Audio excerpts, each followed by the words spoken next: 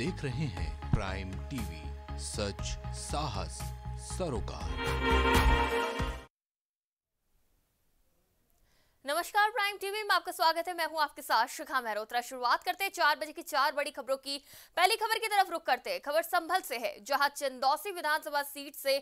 मंत्री गुलाबो देवी को प्रत्याशी बनाए जाने के विरोध में ओवरहेड टैंक पर बीजेपी कार्यकर्ता ने टिकट नहीं बदले जाने पर टैंक से कूदने की धमकी दे दी बीजेपी कार्यकर्ताओं के टंकी पर चढ़ने की सूचना पर भाजपा कार्यकर्ता और पुलिस प्रशासन मौके पर पहुंचे और समझा के उसे नीचे उतारा तो आए दिन ऐसी तस्वीरें सामने आ रही हैं जहां पे विद्रोह देखने को मिल रहा है और संभल से अब ये खबर सामने आई है जहां बीजेपी कार्यकर्ता ने इसका विरोध किया है गुलाबो देवी के विरोध में कार्यकर्ता टंकी पर चढ़ गया और ओवरहेड टैंक पर चढ़कर उसने कूदने की धमकी भी दी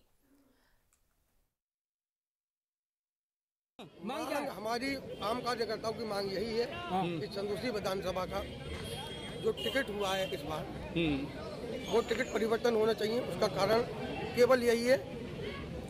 आम कार्यकर्ता मेहनती कार्यकर्ता की जो मेहनत थी उनकी जो रिपोर्ट जाती है ग्राउंड सर्वे जाता है हम्म। उसे बिल्कुल उलट के टिकट हुआ है हम्म। जबकि ये टिकट किसी भी हाल में नहीं होना चाहिए था चंदौसी विधानसभा में बहुत सारे मेहनती गरीब कार्यकर्ता है किसी भी अन्य कार्यकर्ता का टिकट हो जाए कहना है कि बहुत सारे ऐसे कार्यकर्ता हैं जो जनता के बीच आते हैं जनता के लिए काम करते हैं लेकिन ऐसे जो है जनप्रतिनिधि को टिकट दे दिया गया है जो कि ना जनता के बीच में आते हैं ना काम करते हैं और उनको टिकट नहीं मिला है जो कि जनता के बीच आके उनके सुख दुख में खड़े होते हैं और इस खबर पे हमारे साथ ज्यादा बातचीत के लिए संभल से संवाददाता मुबारक अली जुड़ चुके हैं मुबारक क्या है पूरा मामला आखिर किस वजह से आक्रोशित था कार्यकर्ता का मामला है और बीजेपी कार्य बीजेपी कार्यकर्ता का काफी रोष है और राज्य मंत्री गुलाब देवी को टिकट दोबारा से टिकट दिया गया है और और बीजेपी कार्यकर्ता उस पर टंकी पे टंकी पे चले चल गया है तो और चलने चलने के बजाय जो काफी संख्याओं में इस्तीफा इस्तीफा भी दिया गया है जी बीजेपी कार्यकर्ताओं ने पांच सौ कार्यकर्ताओं ने इस्तीफा भी दिया गया है जी मुबारक अली हम गुलाबो देवी के बारे में भी जानना चाहेंगे कि आखिर लोग इनसे नाराज क्यों हैं नाराज इनसे हैं इनके पति पर आरोप लगा रहे हैं भ्रष्टाचार के और खनन माफियाओं की सुनते हैं और उनके और, और कई लोग उनकी गलत सुनते हैं वो जी तो जब ये कार्यकर्ता टंकी पे चढ़ा तो इसे नीचे कैसे उतारा गया बीजेपी कार्यकर्ता वहाँ पे मौके पर पहुंचे हैं और पुलिस मौके पर पहुंच के पहुंचने के बाद में उनसे बातचीत करी गई है तो उसको उतारा गया है जी तो नीचे आने के बाद कार्यकर्ता ने क्या कुछ बताया आखिर उसकी नाराजगी क्यों थी और क्या कहा उसने नाराजगी ये थी आठवीं बार बीजेपी में गुलाउदेवी गुलाउदेवी को टिकट दिया गया है और उन, उनकी मांग है मंजू ब्लेयर को टिकट दिया जाना था जी तो जिस मंत्री के लिए ये टिकट की मांग कर रहे हैं तो आखिर उनको टिकट क्यों नहीं दिया गया ये भी जानकारी चाहेंगे हम जानकारी जो अब कई बार एक बार विधायक भी रह चुकी हैं और और और, एक राज्य मंत्री है मौके पर तो इसलिए टिकट दिया गया है बीजेपी ने जी बिल्कुल बहुत बहुत शुक्रिया हमारे से जुड़ने के लिए और तमाम जानकारी के लिए इस खबर पर हमारे साथ संवाददाता मुबारक अली जुड़े थे संबल से तो गुलाबो देवी के विरोध में एक कार्यकर्ता टंकी पर चढ़ गया और टिकट बदलने की मांग की उनने कहा कि जिस तरह से जनप्रतिनिधि जनता के बीच जाते हैं काम करते हैं उन लोगों को दिया जाना चाहिए टिकट ना कि ऐसे लोगों को जो कि जनता के सुख दुख में खड़े ही नहीं होते और सिर्फ अपनी टिकट लेने के बाद जनता को भूल जाते हैं चुनाव जीतने के बाद जनता को भूल जाते हैं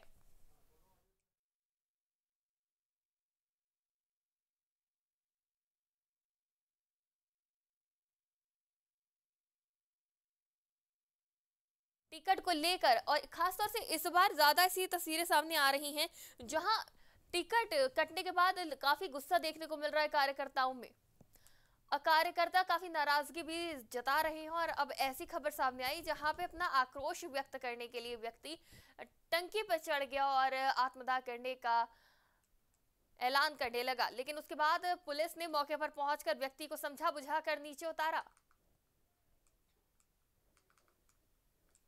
रुक करते अगली खबर की तरफ देश में कोरोना के मामले लगातार बढ़ते हुए नजर आ रहे तो वही पिछले 24 घंटे में दो लाख अड़तीस हजार अठारह नए मामले सामने आए हैं ये लगातार तीसरा दिन है जब कोरोना के मामले में गिरावट देखी गई है इससे पहले रविवार को दो दशमलव पांच आठ लाख केस सामने आए थे जबकि शनिवार को दो दशमलव सात एक लाख केस मिले थे इसके अलावा देश भर में पिछले चौबीस घंटे में एक लाख सत्तावन हजार चार सौ इक्कीस लोग ठीक भी हुए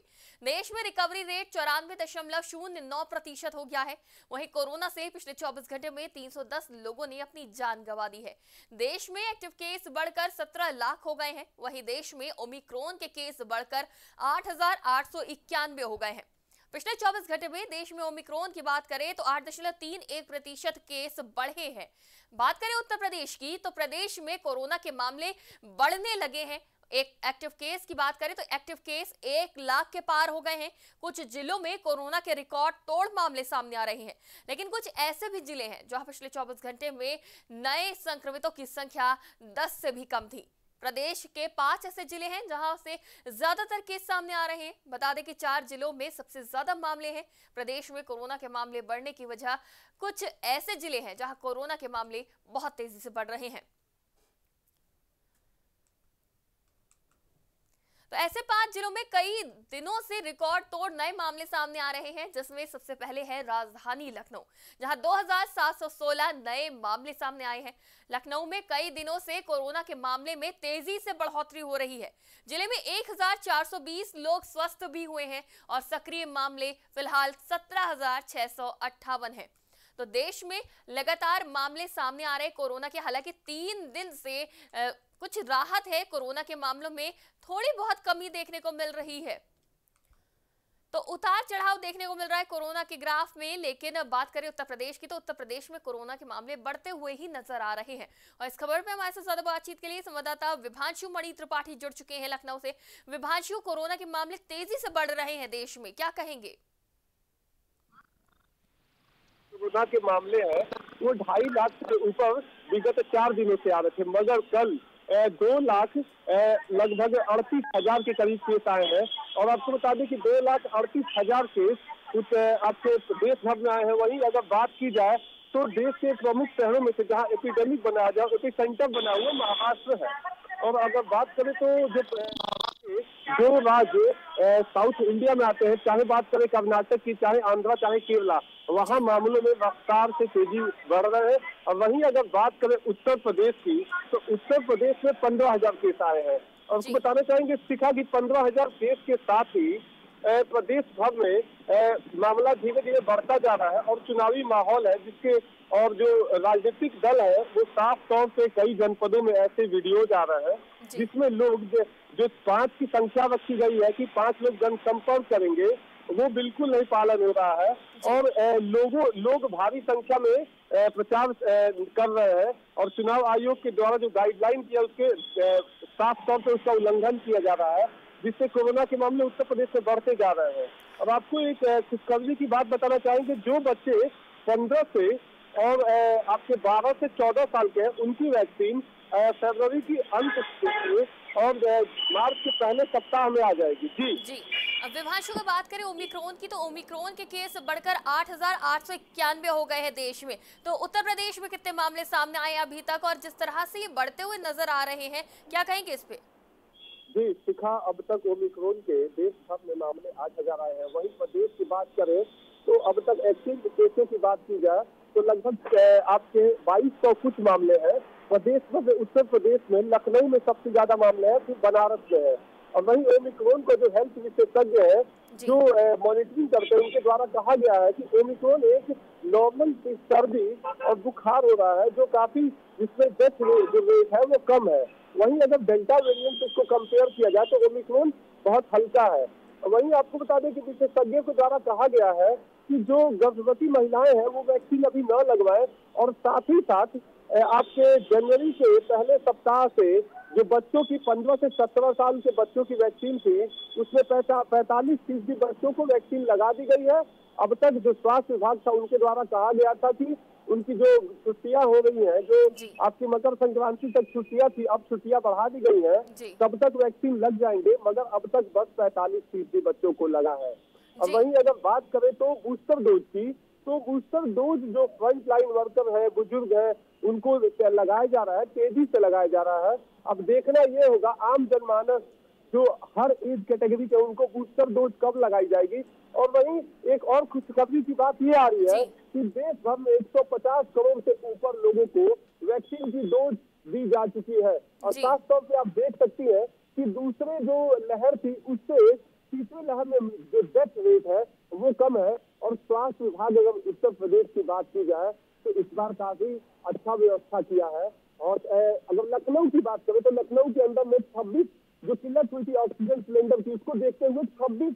ऑक्सीजन प्लांट यहाँ लगाए गए हैं वही अगर बात की जाए ऑक्सीजन सिलेंडर के साथ साथ दवाओं की तो दवाओं का भी व्यवस्था घर तक किया जा रहा है अगर कोविड पेशेंट कोई आता है कोई कोविड पॉजिटिव होता है तो उसके घर तक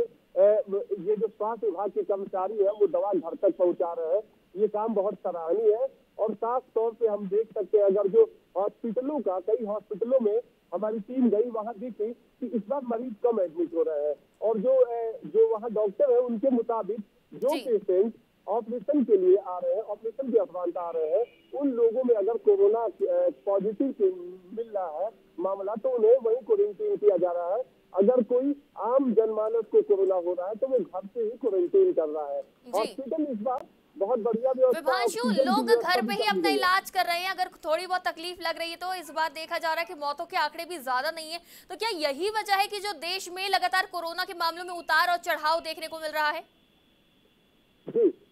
बात करें अगर जो तो इस बार स्वास्थ्य विभाग पूरा अलर्ट है जो दवाइयों की किट है उसको भेजा जा रहा है साथ ही साथ फोन टेस्टिंग भी की जा रही है फोन के माध्यम से ऐसे कई सारे कर्मचारियों को नियुक्त किया गया है जो भी पेशेंट कोरोना के पॉजिटिव आएंगे उनको फोन कर उनकी हालचाल ली जाएगी दिन में दो बार हालचाल दिया जा रहा है और साथ ही साथ आप जो पेशेंट हो रहे हैं उनको जो चीजें खानी है उनके बारे में भी बताया जा रहा है कि क्या पौष्टिक आहार में जिससे ये संक्रमण रोक सके वही आपको बता दें कि हिमाचल के मंडी में एक ऐसे स्कूल का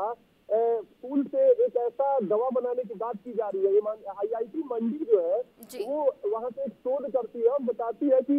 एक पेड़ है जिसका आपका जिस पेड़ से कोरोना का संक्रमण के चांसेस कम हो रहे हैं बुरांस वृक्ष करके एक पेड़ है जिससे कोरोना की जो संक्रमण है इसके जो इस से जो केमिकल निकल रहे हैं उससे साफ तौर पे जो कोरोना के संक्रमण है उससे कम होगा इस केमिकल से कोरोना के चांसेस कम हो रहे हैं अभी इससे पुष्टि नहीं हो पाई है मगर विशेषज्ञ अभी इससे जांच कर रहे हैं जी जी बिल्कुल बहुत बहुत शुक्रिया हमारे साथ जुड़ने के लिए और तमाम जानकारी के लिए इस खबर पर हमारे साथ संवाददाता विभांशु मणि त्रिपाठी जुड़े थे लखनऊ से तो कोरोना के मामले में लगातार उतार चढ़ाव देखने को मिल रहा है तो वहीं लखनऊ में 2716 नए मामले 24 घंटे में दर्ज किए गए हैं कोरोना के मामले लगातार सामने आ रहे देश में उतार चढ़ाव देखने को मिल रहा है तो वहीं उत्तर प्रदेश में कोरोना के मामले लगातार तेजी से बढ़ते हुए नजर आ रहे हैं इसके पीछे एक मुख्य वजह टेस्टिंग भी मानी जा रही है क्योंकि इस बार के जो सिम्टम है वो बहुत हल्के हैं और कुछ एसिम्टोमेटिक लोग भी हैं तो जिनको इस बात का एहसास होता है कि उनकी तबीयत खराब है जो लोग टेस्ट करवा ले रहे समय पे तो उनकी रिपोर्ट पॉजिटिव आ रही है और जो लोग नहीं करवा रहे तो उनकी रिपोर्ट नहीं सामने आ पा रही है इस वजह से जो आंकड़ा है वो ऊपर नीचे होता हुआ नजर आ रहा है रुक करेंगे अगली बड़ी खबर की तरफ बीजेपी और निषाद पार्टी के बीच यूपी चुनावों में सीटों को बंटवारे को लेकर मीटिंग जारी है मिल रही खबरों के मुताबिक बीजेपी ने 15 सीटें ऑफर की है लेकिन निषाद पार्टी 17 सीटों पर अड़ी हुई है तो वहीं 15 सीटों पर बात हो गई है लेकिन दो सीटें अभी भी ऐसी है जिनपे मामला अटका हुआ है यूपी बीजेपी के प्रभारी धर्मेंद्र प्रधान के साथ संजय निषाद की सीटों के बंटवारे को लेकर अहम बैठक चल रही है और पंद्रह सीटों पर बात कंफर्म मानी जा रही है आपको बता दें कि इस मीटिंग में केशव प्रसाद मौर्य भी शामिल है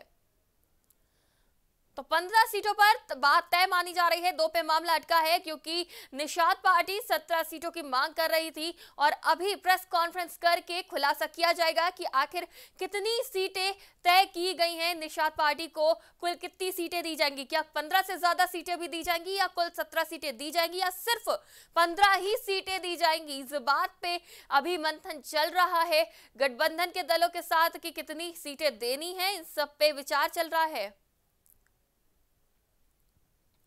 और इस खबर में हमारे संवाददाता अजहर खान जुड़ चुके हैं अजहर जिस तरह से मंथन चल रहा है क्या कहेंगे क्या अभी भी बदलाव हो सकता है या फिर पंद्रह ही सीटें दी जाएंगी बीजेपी की तरफ से साफ तौर पर जिस तरह से देखा जा रहा है कि कल से ये मंथन चल रहा है पार्टी के जो नेता है वो लगातार मौजूद है पार्टी अध्यक्ष जे पी नड्डा और यूपी प्रभारी धर्मेंद्र नाथ जी से मीटिंग में मौजूद है और कल देर रात तक मीटिंग चली और लगातार सीटों को लेकर जो बीजेपी मोदी दल है निजात पार्टी उसके साथ सीटों को लेकर लगातार मंथन जारी रहा लेकिन बात की जाए जिस तरह से पहले सहमति बनी थी निजात पार्टी और भारतीय जनता पार्टी के बीच पंद्रह सीटों की लेकिन बात की अगर बात की जाए तो जो खबरें सामने आ रही हैं वो ये कि लगभग निषाद पार्टी का मानना है कि उन्हें सत्रह सीटें चाहिए और पंद्रह सीटें तो तय हो चुकी है लेकिन दो सीटों पे लगातार मंथन जारी है और इसमें भी मंथन जारी की कौन किस सीट से बीजेपी प्रत्याशी लड़ेगा या निषाद पार्टी का प्रत्याशी लड़ेगा जी सर हम ये भी जानना चाहेंगे कि आखिर ये दो सीटें कौन सी है जिसपे अभी भी मंथन चल रहा है और जिसकी मांग करी निषाद पार्टी जी बिल्कुल तौर पर जिस तरह से निषाद पार्टी लगातार जो पूर्वांचल का जो हिस्सा है जो गोरखपुर ग्रामीण क्षेत्र है और लगातार जो झांसी का एरिया है पूर्वांचल का जो एरिया है वहाँ पर सीटों को लेकर लगातार वो अपनी मांगों को लेकर अड़े हुए हैं तो पूर्वांचल में से ही वो जो सीटें हैं जिनको लेकर पार्टी लगातार अड़ी हुई और उसमें लगातार सहमति नहीं बन पा रही है और खासतौर से जो पंद्रह सीटें हैं जो पंद्रह सीटें हैं उसमें ज्यादातर जो सीटें हैं वो पूर्वांचल की लगभग साठ परसेंट सीटें पूर्वांचल की और चालीस परसेंट पश्चिमांचल की जी अजहर अभी तक क्या जानकारी मिली है कौन कौन सी सीटों पर बात तय हो चुकी है बिल्कुल फिलहाल जिस तरह से बताया जा रहा है कि लगभग सत्रह सीटों पर बात तय हो चुकी है गोरखपुर झारखंड सीट है और तमाम तरह के जो पूर्वाचल के क्षेत्र और तरह के पंद्रह सीटों पर सहमति हो गई लेकिन फिलहाल जो सीट वो ऐसी है वो कौन सी सीट है हिसाब से साथ में नहीं आ पा रही इसकी सहमति नहीं बन पा रही है और लगातार मंच जारी है अब देखने वाली बात ये होगी कि लगभग जो सत्रह सीटें हैं भारतीय जनता पार्टी को गुजरात पार्टी को भारतीय जनता पार्टी सत्रह सीटें देती है या फिर पंद्रह सीटें में ही बिल्कुल अजहर प्रेस वार्ता करके इस बात का ऐलान भी किया जाएगा कि आखिर कितनी सीटों पे सहमति बनी है तो क्या लगता है कितने बजे तक प्रेस वार्ता हो सकती है बिल्कुल साफ तौर से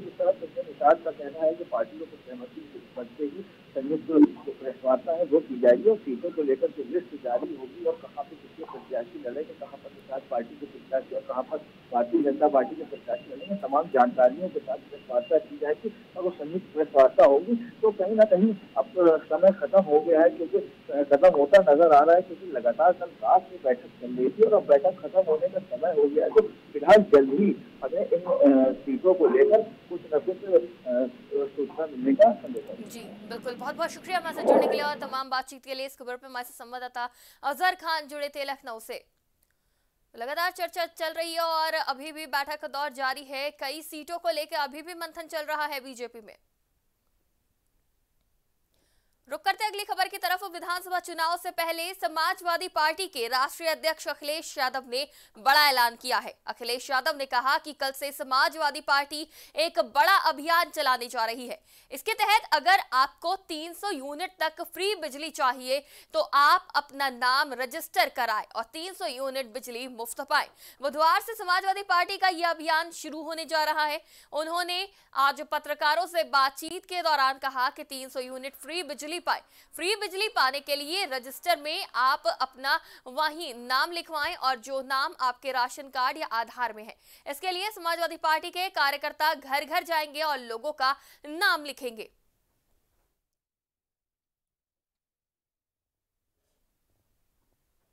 चार बजे की चार बड़ी खबरों में फिलहाल इतना ही तमाम खबरों के लिए देखते रहिए प्राइम टीवी कुछ